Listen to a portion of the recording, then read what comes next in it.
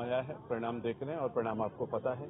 और इसके बाद परिणाम पर जो होना चाहिए वो पार्टी उस पर विचार करेगी समीक्षा करेगी और आगे हम लोग बढ़ेंगे। क्या लगता है राम नाम टारगेट नहीं देखिए ऐसा कुछ नहीं लगता। पंद्रह साल से सरकार है मध्य प्रदेश में। पंद्रह साल से सरकार छत्तीसगढ़ में। बहुत अच्छा काम किया मध्य प्रदेश की सरकार ने छत्तीसगढ़ की सरकार ने भी। लेकिन पंद्रह साल तक सरकार में रहने के बाद स्वाभाविक रूप से कुछ ना कुछ हो जाता है जनता के मन में आता है बदलाव।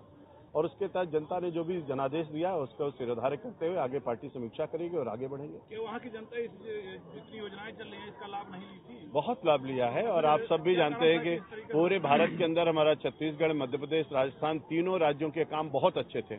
लेकिन उसके बाद भी चुनाव चुनाव होता है कई बार लोगों के धारणाएँ बदलती रहती हैं।